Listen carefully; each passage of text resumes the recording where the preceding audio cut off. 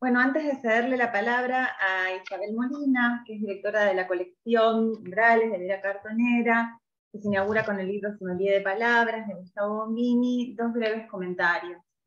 Con Paola ya estamos organizando el segundo workshop de diciembre de 2023.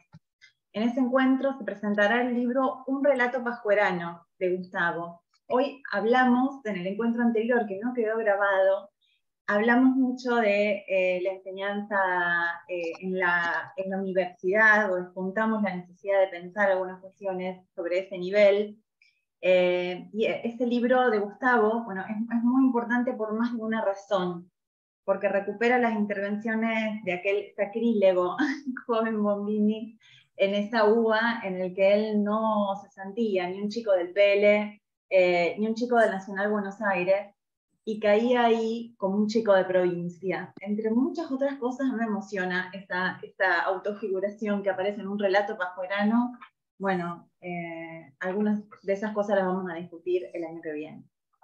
Hay muchos elementos de ese libro que se conectan con este, cuya fiesta de cumpleaños nos reúne hoy. Esos elementos vuelven sobre la precariedad de nuestros archivos, nuestras bibliotecas públicas, y el enorme esfuerzo realizado por maestros, profesores e investigadores de todo el territorio por paliar ese estado de las cosas. El cuento que Gustavo cuenta en un relato pascuerano vuelve sobre su intento de diseminación de lo que había aprendido en los últimos años de la carrera de letras de la UBA, puntualmente los dos primeros de la Restitución Democrática, así como hoy volvimos sobre su intento de difundir estos textos encontrados en ese libro publicado en Francia, entre otros materiales. Que en 2022 este libro del centro editor haya circulado entre nosotros, gracias a un escaneo que hizo el propio Gustavo, es tan sintomático como revelador. Esta falta, entre otras, impacta en nuestro modo de trabajo, así como impulsa proyectos de archivo, es decir, de construcción de espacios donde los textos se alojen de modo permanente y abierto y gratuito para todos.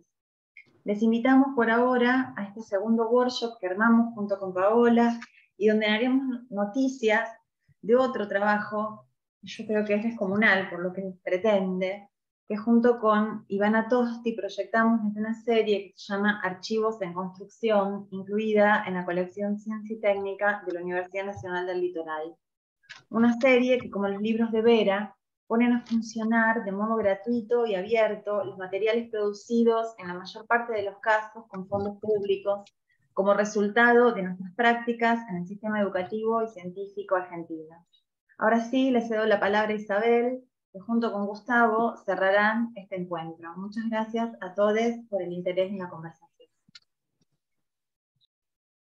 Gracias Analía y gracias Paola por inscribir la presentación de Sommelier de Palabras en el marco de este primer workshop sobre literatura y educación en ocasión de estos primeros 30 años de la publicación de literatura y educación, selección de textos de Bart, de Soler y de otros autores eh, en el marco de la colección, de una de las colecciones del Centro Editor de América Latina.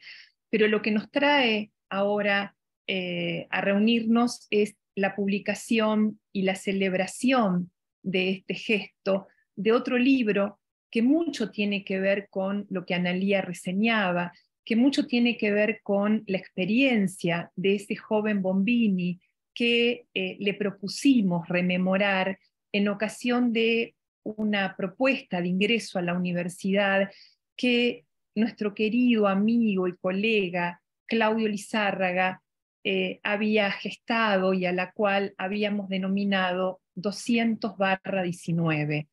Eh, en esa ocasión propusimos la reunión de ingresantes de eh, diferentes carreras de la universidad, alrededor de 200, que eh, compartieran un espacio común y que además eh, cada grupo profundizara en cuestiones vinculadas con las disciplinas de la carrera elegida, con esa profesión o esas profesiones para las cuales iban a formar.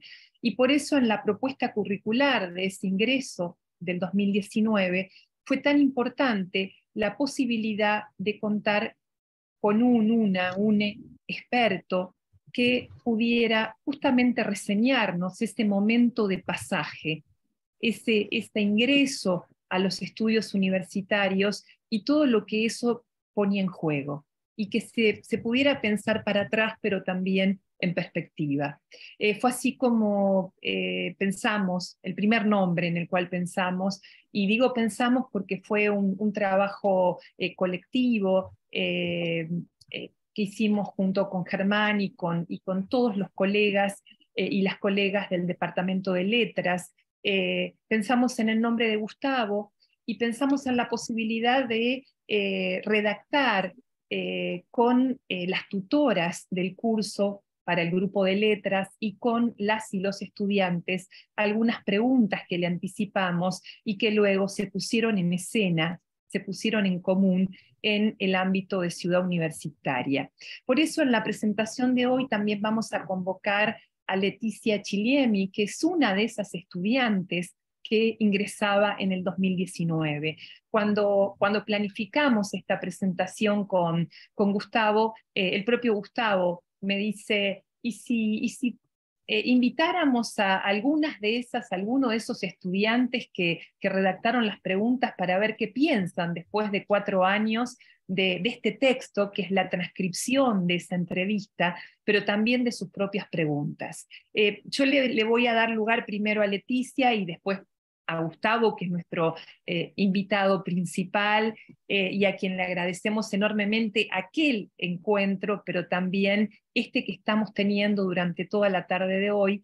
Y eh, antes de darle la palabra a Leticia para hacer ese ejercicio, a mí me gustaría reponer em, la síntesis, el espíritu, y me animo a usar esa palabra, de la colección Umbrales porque es una colección que también tiene mucho que ver con lo que Gustavo ha venido haciendo en, su vida eh, personal, eh, académica y, profesional. Em, el nombre de umbrales eh, refiere al ingreso, refiere a ese movimiento inicial o zona de pasaje hacia una experiencia transformadora en el ámbito de la educación.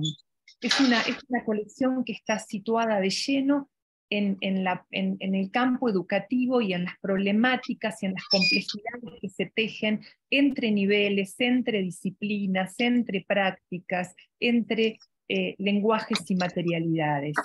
Eh, la elección del plural inscribe lo diverso y alienta el cruce de múltiples puertas, bordes de las disciplinas, articulación de niveles, como les decía, relatos de experiencia en el campo expandido de las artes en la contemporaneidad. Eh, agradecemos este primer título y eh, volvemos a aquellas preguntas que le dieron origen a partir eh, de, la, de la participación de Leticia.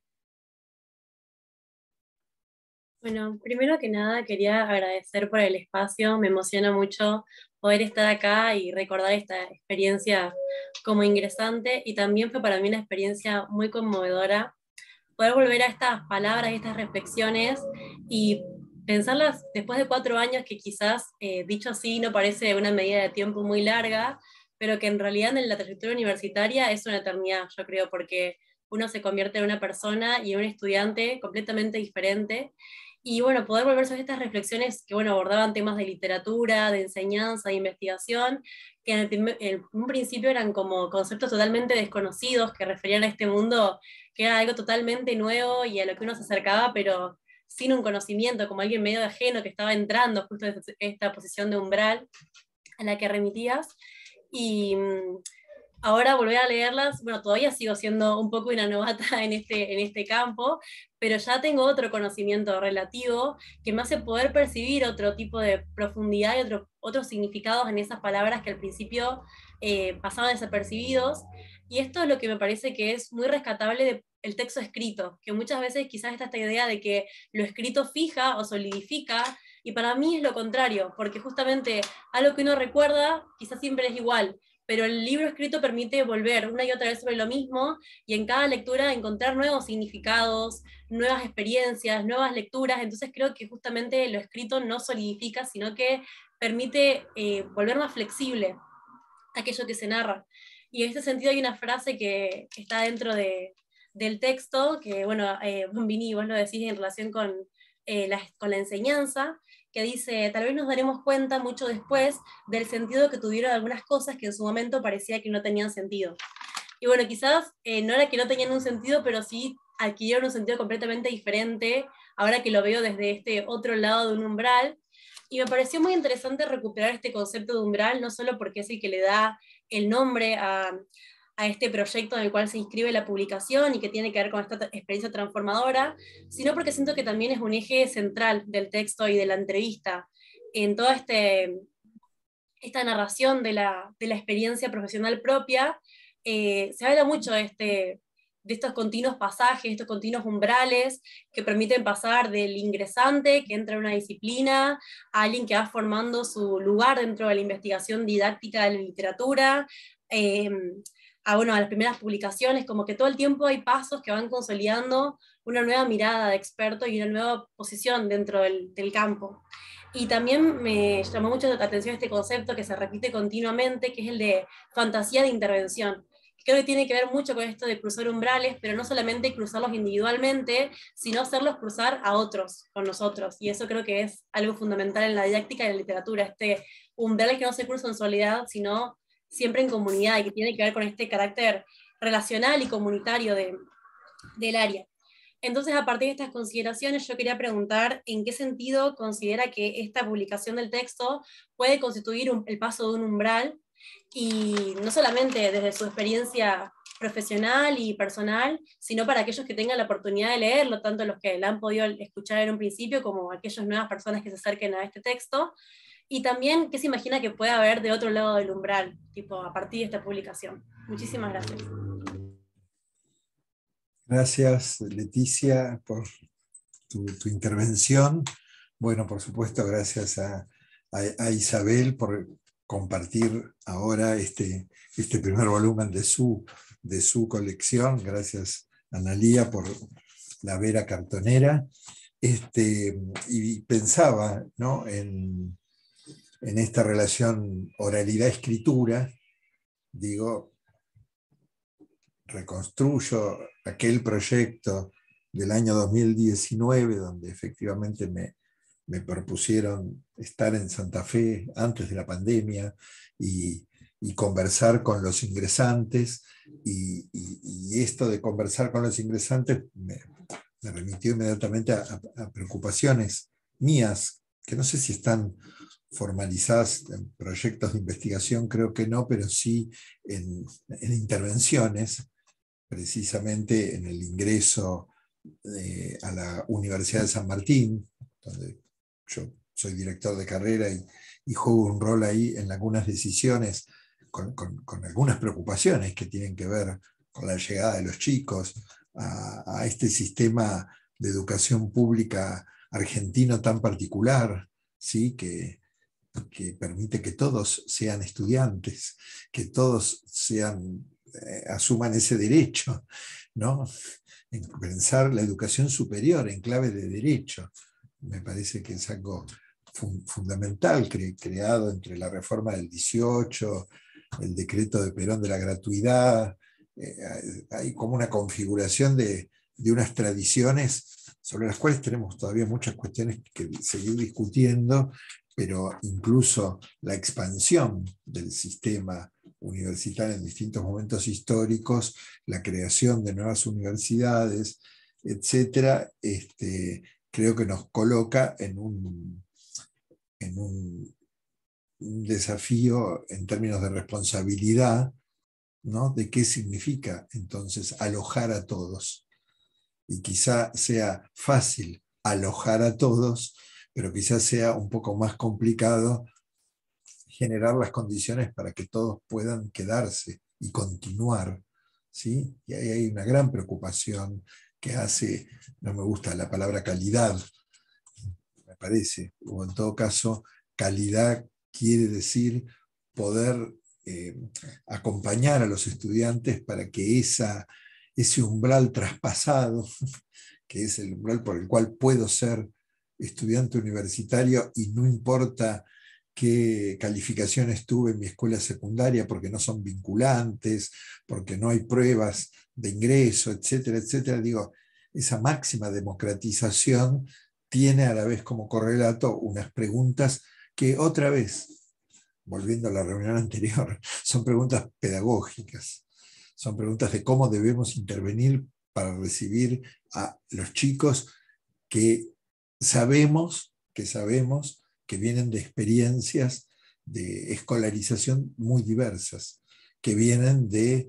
experiencias familiares con vínculos con la educación superior muy distintas. Y siempre decimos con orgullo, el 80% de los chicos que entran a nuestras universidades, o el porcentaje que ustedes quieran, según este, son primera generación de universitarios. Bueno, este enunciado que es fuertemente político debe tener un correlato pedagógico para que luego nuestras prácticas no sean contradictorias con, esa, con ese deseo inicial, con ese posicionamiento político inicial. Entonces, para mí, conversar con, ingresantes de otra universidad, de otro contexto, etcétera, fue una invitación absolutamente este, eh, grata, digamos.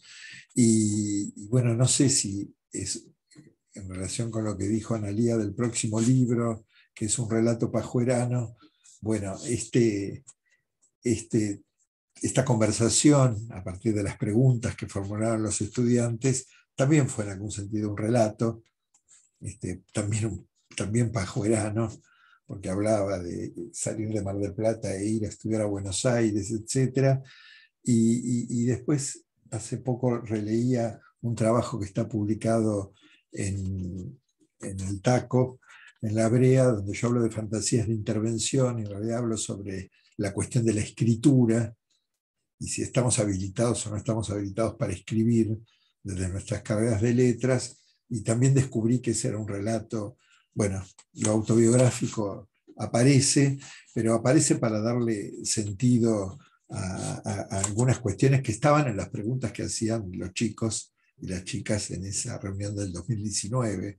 Y, realmente eh, en, mi memoria aparece claramente de alguna manera el descubrimiento que uno va realizando de aquellas cosas que eran impensadas e impensables respecto de la proyección profesional. ¿sí? Uno puede pensar que va a ser eh, profesor de secundaria. Primera representación porque, porque uno viene de ahí y le acaba de pasar algo ahí y quizá le pasó algo grato con la literatura ahí. Entonces por eso elige estudiar letras, pero por ejemplo puede no saber qué es el oficio de investigador, puede no, no tener tan claro de que a alguien le pagan para que lea, escriba y haga lo que le gusta, que es leer y escribir. No queda tan claro que, eso pueda ser así, como no queda tan claro que uno pueda trabajar en el territorio, en el campo de lo editorial, seguramente ni Analía ni Isabel lo pensaron al comienzo de sus carreras, este, ni queda tan claro que uno pueda ser funcionario técnico, político de un ministerio de educación, etcétera, etcétera. Digo, si, uno empieza a, pensar de ahí lo de fantasías de intervención también. Ahora, eh, todo esto dicho en un diálogo eh, controlado, digamos, que estaba institucionalizado dentro de un proyecto del modo en que en el litoral decidieron recibir a los pibes de la, de la mano de un especialista este, conversando. Este, entonces, cuando yo leo el texto, y en función de la pregunta, voy a la pregunta de Leticia, ¿no? Eh, ¿Qué hay de lo, vamos a llamar, de lo performático, de lo que ocurrió ahí, en aquella escena, que no podemos de ninguna manera reponer en la lectura? ¿Sí? Podemos dar todos los datos y decir que estaba Leticia y que había otros compañeros y que ellos formularon las preguntas, etcétera, etcétera. Está todo ese marco dicho en el, en el libro, pero bueno, hay algo de la interacción ahí que se jugó en ese vínculo que establecimos esa, esa mañana. Estaba Germán, me acuerdo, etc. Ahora, el que lee esto como el relato de algo que pasó, ¿qué, qué, pistas interesantes puede llegar a encontrar? ¿no? ¿Qué nuevos umbrales, como decía Leticia, puede llegar a, a, cruzar? ¿Será una lectura para, para todos los ingresantes de, de, curso? Gustavo, sí. En relación con esto que vos señalás, y pienso en en, ver a Cartonera como, como espacio que teje, eh, que se teje a partir de, diferentes, de diferentes ocasiones y formatos. Y bueno, ya las y los invito al próximo taller en el cual podamos eh, armar nuestro propio ejemplar en papel de, sommelier de palabras. Eh, hay una, una referencia recurrente en tu, en tu relato y, a raíz de, esta pregunta que vos haces, ¿qué queda de esa acción, de esa performance que se puso en juego en el litoral en el 2019? Bueno, entiendo que queda este texto, pero también hay algo diseminado en, este, en esta presentación que se repone a partir del relato y seguramente en el boca a boca de, de aquella experiencia eh, hay algo más que, se va a poner eh, en común. A mí me, gustaría que vos volvieras sobre, sobre algo que es recurrente en Sommelier de Palabras, que es lo importante que fueron los vínculos con maestras, con maestros, que cuando vos eras un eh, profesor recién recibido, te hicieron lugar y te permitieron o te posibilitaron pensar todas esas otras áreas de trabajo que vos inicialmente no habías imaginado. Eh, ¿cómo, cómo, cómo establecer esas relaciones? Pienso en un estudiante, en un estudiante que, lee el texto, pero que se pregunta, bueno, a mí me gustaría, ¿y, esto cómo se hace? Sí, ahí yo hablaba de precisamente eh, ese reconocimiento que, Sí, que a, algunos y algunas, desde un lugar de, fuerte legitimidad, puede eh, llegar a ser, digamos, un, reconocimiento significativo de nuestros balbuceos, de aquellas cosas que nosotros empezamos a, pregeñar con, mucho, en mi caso no digo con miedo, sino con, con, una duda respecto de la expertise, ¿no? ¿Dónde se aprendió esto? ¿Por qué yo ahora le estoy llevando a Graciela Montes un proyecto de una colección editorial que escribí en mi máquina de escribir, porque era anterior a la computadora, y qué legitimidad tiene este texto y cómo, leído por esa autoridad, digamos, y reconocido como posible, reconocido como, como, como conducente, como vamos para adelante con este proyecto, este, bueno, eso hace una configuración, ¿no? Que vamos, este, ahora, no, entiendo bien, me seguiré preguntando por, por algunos años más este, cómo, cómo se van dando los cruces, ¿no? Cómo se va dando que uno al fin queda frente a otro, ¿no? Porque una colega a veces dice, ay, tal está trabajando en tal lugar, pero qué suerte. A mí esa expresión, pero qué suerte, no, no, no, no, no, no me gusta. Me parece que se, han dado una cantidad de, de, pasos y acciones y, modos de estar ahí, ¿sí? Para que entonces este, se produzca ese, ese encuentro eh, que, nos coloca siendo unos jóvenes, ¿sí? en la posibilidad de empezar a imaginarnos de, otro modo.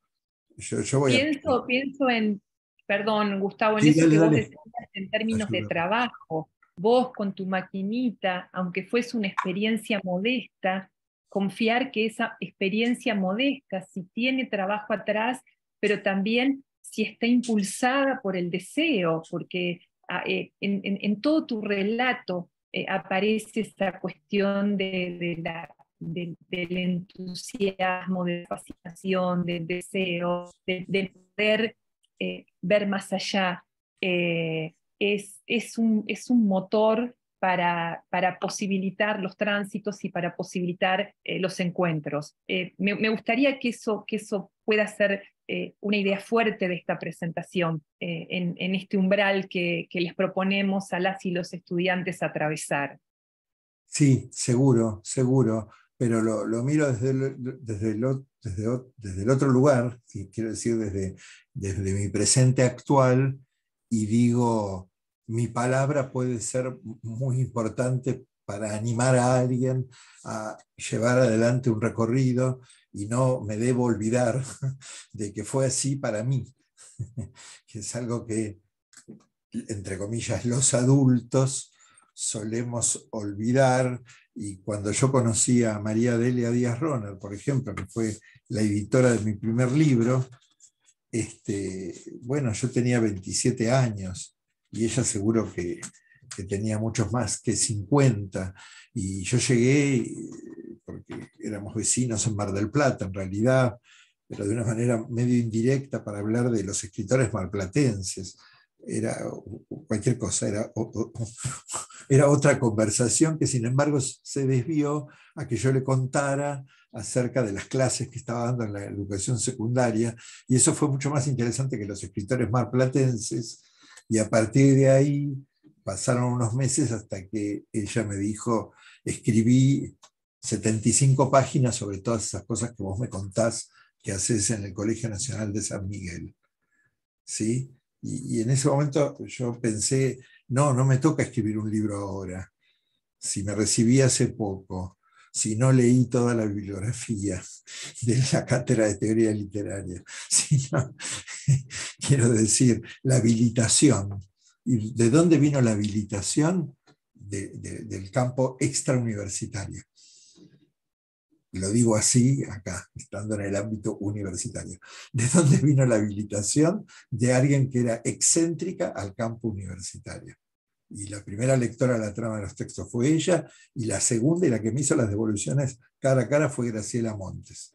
Y hay intervenciones en el libro que son marcas que Graciela había hecho, y yo me corrí por, por ese verano entre que escribí el libro y, en julio salió, desde enero hasta julio, fue todo bastante rápido, este, yo me, corrí, me corrí del, vínculo con la universitaria, necesité replegarme sobre ese desafío creativo que era poder contar, ahora claro, ya lo han dicho y ya lo han escrito, este, eh, Analía y otros, eh, ese libro está marcado por el seminario Ludmer. Pero está marcado por el seminario Ludmer, pero no fue propiciado por el seminario Ludmer. No sé si se entiende. Eh, me, llevó un poquito el relato que yo hacía hoy con literatura y educación. bueno, me, hablé con la gente del campo editorial y ahí estaban mirando o sea, Ricardo Figueira estaba mirando la posibilidad de que para su colección existiera un literatura y educación. ¿Sí? Ahí, eh, a veces eh, yo soy recurrente hablando de la endogamia de la universidad, que a veces me da como miedo. He huido todas las veces que pude de cualquier tipo de inscripción o modo de actuar que me, que me, dejara atrapado en la endogamia. Este, y, el campo editorial, y, pensemos en, los maestros que hemos nombrado, ¿no? cuando yo nombré las mujeres de Boris Spivakov, todos los profesores, que después fueron los profesores de relevancia en el inicio de la democracia, venían del trabajo editorial, por ejemplo, venían de ser actores culturales que, enunciaban desde otro lugar, Aníbal Ford, por ejemplo, etc. Bueno, por ahí yo, por esta cercanía con, el, fondo, con el centro editor, quizá aprendí muy tempranamente eso, de que había unos lugares de producción que podían ser, si hoy son las editoriales universitarias, lo celebro, si las editoriales universitarias son el puente justamente para algo dijo Analía hoy en alguna conversación, desde acá queremos ir hacia otros públicos. Bueno, este problema de los, públicos yo creo que lo, lo, pensé desde el comienzo de, de, mi recorrido. Quizás estoy hablando de eso en el sommelier de palabras. Gracias, Gustavo. Bueno, tenemos muy poco tiempo eh, para esta primera presentación que va a dar lugar luego a una presentación en el marco de, un taller presencial. Em, yo también quiero, quiero agradecer a Janina Lamboglia que desde su rol de tutor en el marco del ingreso 200-19 eh, tuvo a cargo la transcripción de la primera la transcripción y la primera versión de este texto. Eh, y quiero agradecer enormemente también a nuestra editorial eh, de la universidad porque entiendo que tenemos una editorial cartonera porque primero tuvimos una editorial universitaria. Eh, seguimos haciendo libros, seguimos encontrándonos a presentarlos y a disfrutar del diálogo y del encuentro con, con colegas amigos. Eh, seguramente Leticia ya está pronta a rendir sus, últimas materias y, seguramente va a tener alguna, Leticia y, en, el nombre de Leticia todas y todos, va a tener la posibilidad de ir a conversar con, con alguna colega admirada acerca de los escritores, las escritoras santafesinas o sus primeras experiencias eh, en la práctica eh, en la práctica de la enseñanza. Eh, en el chat hay un, hay un comentario que me gustaría retomar para, para cerrar, si vos estás de acuerdo, Gustavo, que es de Carolina Pérez, que, que se ha desempeñado como tutora también en, en las cátedras de primer año. Ella felicita por todas las intervenciones y dice muy interpelada y feliz por lo que se generó en el transcurso de la tarde. Bueno, se tiene que retirar, pero sigue pensando y aprendiendo. Es esa gratitud la que nos, nos moviliza y la que lleva a que taller tras taller y título tras título eh, sigamos pensando una vera cartonera eh, colectiva, eh, plural y comunal. Gustavo, ¿alguna otra, alguna otra, otra cuestión que quieras, que quieras decir? no, Muy, muy, muy, muy agradecido y, y en última instancia reafirmo lo que dije antes, respecto de la habilitación. Quiero agradecer a ustedes, a Vera Cartonera, a Analía, a Isabel, digo, habilitarme, que esta palabra cobre importancia, que esta palabra oral se vuelva texto escrito que sigue circulando. Hoy lo reenvié a todas las personas que habían puesto like en la invitación, que las tenían en el WhatsApp, les, les envié inmediatamente el libro. Este, bueno, así que nada, es una celebración, estoy muy, muy contento y muy, muy agradecido y, también a Paola por, por, la escena anterior y a todos los 49, 50 que han, han andado por ahí atentos. Muchísimas gracias. Muchísimas gracias, Gustavo, Analía, Paola, colegas. Eh, cerramos entonces esta eh, brevísima presentación en el marco del primer workshop Literatura y Educación a 30 años de aquel texto clave eh, imaginado y concretado por Gustavo Bombini y a meses de este eh, sommelier de palabras editado por Vera Cartonera. Buenas tardes.